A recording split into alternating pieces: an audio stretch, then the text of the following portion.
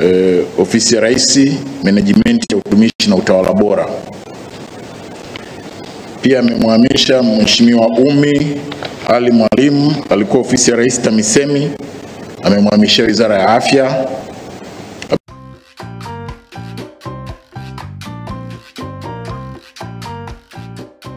Karibu NHIF kituo cha huduma kwa wateja. Naitwa Faraja, naongea na nani?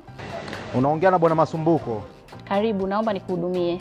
Niko hapa hospitalini, nimeambiwa siwezi kupata huduma, kadi yangu ina matatizo.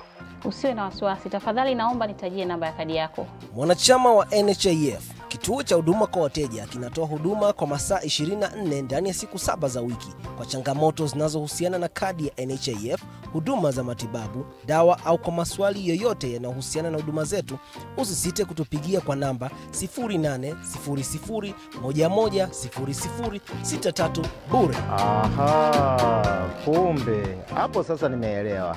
Karibu, ulikuwa na tatizo lingine nikuhudumie? Hapana, sina tatizo lingine. Asante kwa kunihudumia.